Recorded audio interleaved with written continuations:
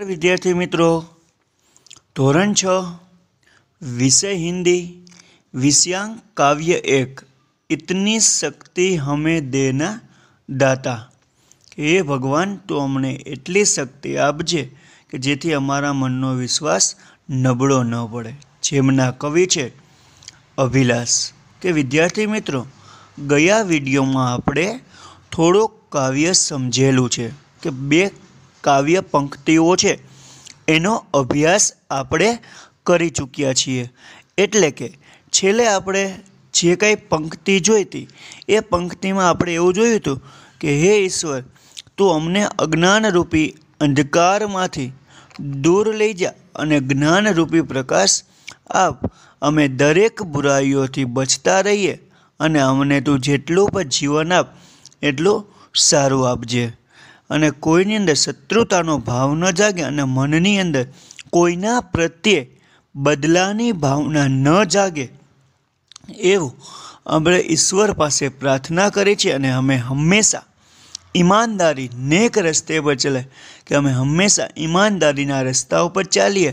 આવું આપણે છેલ્લે ગયા વિડીયોની અંદર એ જોયેલું હતું. હવે ત્યાર પછી આપણે જ્યાં પહોંચ્યા છીએ ત્યાંથી કાવ્ય પંક્તિ સમજવાનો પ્રયત્ન કરીએ हम न सोचे हमें क्या मिला है हम ये सोचे किया क्या है अर्पण फूल खुशियों के बाटे सभी को सबका जीवन भी बन जाए मधुबन अपनी करुणा का जल तू बहा के कर दे पावन हर एक मन का कोना हम चले नेक રાસ્તે પર તો વિદ્યાર્થી મિત્રો આ કાવ્ય પંક્તિ સમજવાનો પ્રયત્ન કરીએ કે હમ ન સોચે હમે ક્યાં મિલા હે કે આપણને એ વિચારવાનું નથી કે આજે આપણે જોઈએ તો માણસ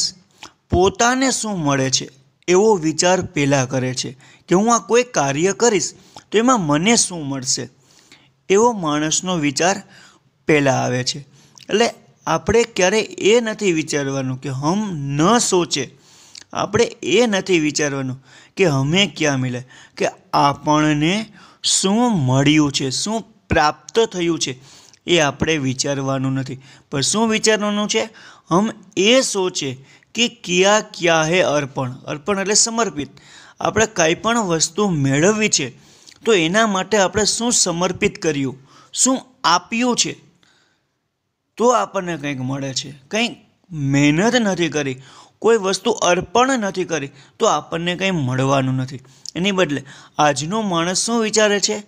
કે અમે ક્યાં મિલાય? આપણને શું મળ્યું એ આપણે વિચારીએ છીએ. પણ આપણે એ વિચારવાનું નથી, આપણને શું મળ્યું? આપણે શું વિચારવાનું છે? હમ એ સોચે. આપણે એ વિચારવાનું છે કે ક્યાં ક્યાં હે અર્પણ? આપણે શું અર્પણ કરેલું છે? શું સમર્પિત કર્યું છે? કંઈ મેળવવા માટે? આપણે શું પ્રયત્ન કરેલા છે? એ આપણે વિચારવાનું છે. ફૂલ ખુશીઓ કે બાટે સભીકો અને બધા વ્યક્તિ સાથે હરી મળીને ખુશી આનંદ વહેંચવાનો છે. કે આનંદિત થઈને આપણે ખુશીઓ છે, આનંદ છે એ વેચવાનો છે. કેવા? ફૂલ ખુશીઓ કે ખુશીઓના ફૂલ, આનંદના ફૂલોને આપણે વહેંચવાના છે. બાટે બાટે એટલે વહેંચવાના છે. સબકા જીવન ભી બન જાય મધુબન. જેમ ફૂલો વહેંચવાથી કે ફૂલો બગીચામાં હોય તો એ બગીચો ખૂબ જ સુંદર લાગે. એમ આનંદ, બધાને આનંદપૂર્વક રહેવાથી આનંદના ફૂલો વેચવાથી સબકા જીવન, બધાનું જીવન પણ બન જાય, બની જાય, મધુબન. એક સુંદર મજાનો બગીચો એ બની જાય છે. કેમ કે આપણે આનંદથી બધાની સાથે રહીએ છીએ, આનંદ વહેંચીએ છીએ, ખુશીઓ વહેંચીએ છીએ એટલે બધાનું જીવન કેવું બની જાય છે? બગીચાની જેમ એક સુંદર બધાનું જીવન છે એ બની જતું હોય છે. અપની કરુણા કા જલતું બહાકે. કરુણા કરુણા એટલે દયા. કે વ્યક્તિએ દરેક પ્રત્યે દયા દાખવવી જોઈએ. કરુણા પ્રેમભરી લાગણી છે એ દાખવવી જોઈએ કે કરુણા કા જલતું બહાકે? એટલે પ્રેમનું પાણી તું વહેવીને કે બધા સાથે હળી મળીને રહી, દયા ભાવના રાખીને તું કર દે પાવન હરેક મનકા કોના કે જે દરેક વ્યક્તિ સાથે આપણે સારી લાગણી દાખવીએ, પ્રેમની લાગણી દાખવીએ હળી મળીને રહીએ, આનંદિત થઈને રહીએ, તો આપણા મનની અંદર પણ દરેક વિચારો સારા જ આવે. પાવન પાવન એટલે પવિત્ર અને તું તારા મનને પવિત્ર કરી દે. કે આપણે બધા લોકો સાથે પ્રેમપૂર્વક હળી મળીને રહીએ, કે એનું પાણી વેળકે હળી મળીને રહીએ, તો આપણું મન એમને એમ પવિત્ર બની જતું હોય છે. તો અહીં આપણને શું કીધું છે કાવ્ય પંક્તિની અંદર? કે આપણે એ નથી વિચારવાનું કે આપણને શું પ્રાપ્ત થયું છે, પણ એ વિચારવાનું છે કંઈ પ્રાપ્ત કરવા માટે આપણે શું સમર્પિત કર્યું છે. શું? આપ્યું છે. અને બધાને આનંદના ફૂલો, ખુશીઓના ફૂલો છે, વેચવાના છે કે જેથી બધાનું જીવન મધુવન, એક બગીચા જેવું સુંદર બની જાય. અને પોતાની કરુણા, પ્રેમ ભરી જે જળ છે એ વહેરાવાનું છે. જેથી દરેક મનનો ખૂણો છે એ બધાનું મન છે એ પવિત્ર બની જતો હોય છે. અને હે ભગવાન, હે ઈશ્વર, અમે હંમેશા ઈમાનદારીના માર્ગ પર ચાલીએ નેક રસ્તે પર ચાલીએ ઈમાનદારીના સાચા અને સારા માર્ગ પર ચાલીએ એવી અમે તને પ્રાર્થના કરીએ છીએ हम अंधेरे में है रोशनी दे खो न दे खुद को ही दुश्मनी से हम सजा पाए अपने किए की मौत भी हो तो सहले खुशी से कल जो गुजरा है फिर से ન ગુજરે. આને વાલા હો કલ એસા ન હો. હમ ચલે નેક રાસ્તે પર. શું કહે છે? હમ અંધેરે મે હે. રોશને દેખે. હે ઈશ્વર. અમે અંધકાર રૂપી અજ્ઞાનમાં છીએ. તું અમને જ્ઞાન રૂપી રોશની દે. અમને જ્ઞાન રૂપી પ્રકાશ દે કે અમારામાં રહેલા અંધકારને, અમારામાં રહેલા અજ્ઞાનને તું દૂર કરી અને તું જ્ઞાનરૂપી રોશની, જ્ઞાનરૂપી પ્રકાશ છે. તું અમને આપ. ખોન દે ખુદ કો હી દુશ્મની છે કે અમે પોતાને જ એકબીજા સાથે અજ્ઞાન છે. તેના કારણે એકબીજા સાથે દુશ્મનાવટ કરી, શત્રુતાનો ભાવ જગાડી, અમે પોતાને જ ગુમાવી ન બેસીએ. હમ સજા પાએ અપને કીએ કી કે અમે જે કર્મો કરીએ છીએ, અમે જે કાર્યો કરીએ છીએ, એની સજા અમે ભોગવીએ છીએ. મોત ભી હો તો સહલે ખુશી છે અને કદાચ અમારી સામે મોત આવીને, મૃત્યુ આવીને ઊભું રહે, તો પણ અમે ખુશી ખુશી આનંદિત થઈ અને એ મોતનો પણ સ્વીકાર કરી લઈએ. કલ જો ગુજરાએ ફિરસે ન ગુજરે. કે અજ્ઞાન, શત્રુતા પોતાના કિયની સજા કે આ બધું જે વીતી ચૂક્યું છે, એ ફરી પાછું આવે નહીં કલજો ગુજરા હે ફિરસે ન ગુજરે. કે આ બધું જે અમે ભોગવેલું છે, આ બધું અમને જે મળેલું છે, એ ફરી પાછું એવું અમને મળે નહીં એવી આપણે ઈશ્વર પાસે પ્રાર્થના કરીએ છીએ કે આને વાલા વોકલ એસા ન હવે પછી, જે અમને જ્ઞાન મળ્યા પછી જે હવે પછીની સવાર છે, હવે પછીનો દિવસ છે, એ આવો ઉગે નહીં. એવી અમને પ્રાર્થના કરીએ છીએ કે હે ઈશ્વર, અમે હંમેશા સત્યના માર્ગ પર ચાલીએ, એવી ઈમાનદારીના માર્ગ પર ચાલીએ.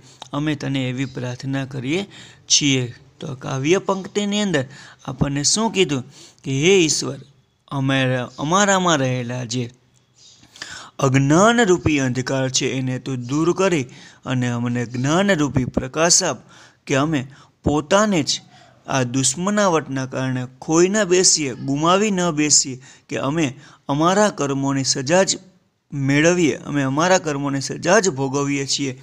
અને એમાં કદાચ મૃત્યુ આવે તો એ મૃત્યુ પણ અમે ખૂબ જ ખુશીથી, આનંદથી એને સહન કરી લે. પણ આ બધું જે કલજો ગુજરાત જે વીતી ચૂક્યું છે. એ ફરી પાછું આવે નહીં અને હવે પછીની જે સવાર, હવે પછીનો જે દિવસ ઉગે તે ખૂબ જ સારો ઉગે કે અમે હે ઈશ્વર તને પ્રાર્થના કરીએ છીએ કે અમને હંમેશા ઈમાનદારીના માર્ગ પર જ ચલાવજે. હર તરફ જુલ્મ હે બે બસી હે, સહમા સહમા સા હર આદમી હૈ. पाप का बोझ बढ़ता ही जाए जाने कैसे ये धरती थमी है बोझ ममता से तू ये उठा ले तेरी रचना का ही अंत होना हम चले नेक रास्ते पर जो ये काव्य पंक्ति समझिए हर तरफ જુલ્મ હે બેબસીએ કે હર તરફ એટલે જોઈએ તો ચારે તરફ જુલ્મ થઈ રહ્યો છે. બેબસી બેબસી એટલે લાચારી છે કે દરેક માણસ આજે લાચાર બની ગયો છે. સહમા સહમાસા હર આદમી આદમી એટલે માણસ અને સહમા સહમાસા એટલે ડરી ગયો છે કે આજે આજે ચારે તરફ જુલ્મ થઈ રહ્યો છે, અત્યાચારો થઈ રહ્યા છે. એટલે માણસ લાચાર બની ગયો છે, લાચારી થઈ ગઈ છે અને દરેક માણસ આજે એ ડરપોક બની ગયો છે, ડરી રહ્યો છે. પાપ કા બોજ બઢતા જા રહે. કે આ પૃથ્વી ઉપર, આ ધરતી ઉપર પાપનો બોજ છે, પાપનો ભાર છે, એ વધતો જાય છે. કેમ કે ચારે તરફ આપણને અત્યાચાર, જુલ્મો અને લાચારી જોવા મળે. તો દરેક માણસ કેવો જોવા મળે છે? તો કે ડરેલો જોવા મળે છે. દરેક માણસની અંદર કોઈને કોઈ પ્રકારનો ડર રહેલો છે. એટલે પાપનો ભાર છે એ પૃથ્વી ઉપર, એ ધરતી ઉપર એ વધતો જાય છે. તો જાને કેસે એ ધરતી તમે? આ પાપનો ભાર વધતો હોવા છતાં આ ધરતી છે કેવી રીતે સ્થિર રહી છે એ જાણી શકાતું નથી. અને છતાં આપણે પ્રાર્થના કરતાં કહીએ છીએ કે બોજ મમતા સે તો એ ઉઠા લે કે આ જે પાપનો ભાર છે, એ મમતા આપણે ધરતીને માનું સ્વરૂપ આપ્યું છે, કે ધરતીને માં કહીએ છીએ, કે તું માં સમ, છો, એટલે મમતાની ભાવના રાખે, તું આ ભાર છે, પાપનો ભાર છે, એ તું ઉપાડી લેજે, કે હે ઈશ્વર તેરી રચના કા હી અંત હોના? કે આ તારી જે રચના છે, જે સૃષ્ટિ બનાવે છે, એનો ક્યારેય અંત થાવે નહીં? એનો ક્યારેય નાશ થાય નહીં? હમ ચલે નેક રસ્તે પર કે હે ઈશ્વર, અમે હંમેશા ઈમાનદારીના માર્ગ પર ચાલીએ. એ આપણે ઈશ્વરને પ્રાર્થના કરીએ છીએ. તો કાવ્ય પંક્તિમાં આપણને શું કહેવા માગ્યું છે? તો કે હે આજે ચારે તરફ અત્યાચારો, જુલ્મો જોવા મળે છે. દરેક માણસ લાચાર બની ગયો છે. બેબસી એટલે લાચાર બની ગયો છે. અને દરેક માણસની અંદર કોઈને કોઈ પ્રકારનો ડર રહેલો છે, જેના કારણે પાપનો ભાર છે એ વધતો જાય છે અને એના કારણે આ ધરતી કેવી રીતે સ્થિર રહી છે અને પ્રાર્થના કરતાં કહ્યું છે કે બોજ આ મમતાનો તું એ મમતાની ભાવના રાખી, એક માતાની ભાવના રાખી, જેમ એક માતા છે, એ બધું ખુશી ખુશી સહન કરી લે. એમ, હે ધરતી માતા, તું પણ આ બધું હસી હસી બોધ છે, એ ભાર છે, એ તું હસી ખુશીથી ઉપાડ લેજે અને હે ઈશ્વર, તારી રચનાનો અંત છે, એ ક્યારેય પણ ન આવે. એવી અમે તને પ્રાર્થના કરીએ છીએ. અને હે ઈશ્વર, તું અમને એટલી શક્તિ આપજે કે અમારું મન છે એ ક્યારેય નબળું ન પડે. અને અમે હંમેશા નેક રસ્તા ઉપર એટલે કે ઈમાનદારીના રસ્તા ઉપર ચાલીએ એવી અમે તને પ્રાર્થના કરીએ છીએ. તો વિદ્યાર્થી મિત્રો, અહીં આ કાવ્ય પૂર્ણ થાય છે અને કાવ્યના આધારે આપણે હોમવર્ક જોઈએ. તો વિદ્યાર્થી મિત્રો, આપણે જે કાવ્ય સમજ્યું એના આધારે હોમવર્ક. કે નિમ્નલિખિત પ્રશ્નો કે ઉત્તર લીખીએ નીચે લખેલા પ્રશ્નોના જવાબ લખો. પહેલો પ્રશ્ન છે, હમ ઈશ્વર સે કેસી જિંદગી કી કામના કરતે? કે આપણે ઈશ્વર પાસે કેવી જિંદગીની જીવનની ઈચ્છા વ્યક્ત કરીએ છીએ. બીજો પ્રશ્ન છે, હમે કિસકે બારે મેં સોચના ચાહીએ? આપણે કેના વિશે વિચારવું જોઈએ, જે આપણે કાવ્યમાં સમજ્યું છે. ત્રીજો પ્રશ્ન છે, અમારા મન પાવન કેસે બનેગા? કે આપણું મન છે એ પવિત્ર કેવી રીતે બનશે એ લખવાનું છે. ચોથો પ્રશ્ન છે, કિસી, કિસકી રચના કા અંત નહીં હોના ચાહીએ? કે કોણે બનાવેલી રચના છે એનો અંત થવો જોઈએ નહીં?